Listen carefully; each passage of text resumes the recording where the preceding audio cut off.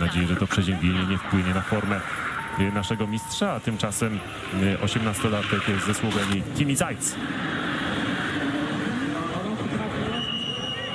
No i kolejny piękny skok. Złapał tutaj te warunki wietrzne i potrafił je wykorzystać. Goraz Bertoncelli także tam zadowolony kiwa głową.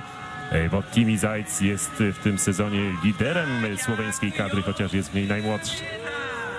Pucharze Świata tuż za dziesiątką na miejscu 11 już zdobył 334 punkty, no i dzisiaj sporo dorzuci do tego dorobku, bo jak widzimy poniósł go ten wiatr, chociaż ten uśredniony wskaźnik pokazuje, że było to tylko metr i dwie dziesiąte na sekundę.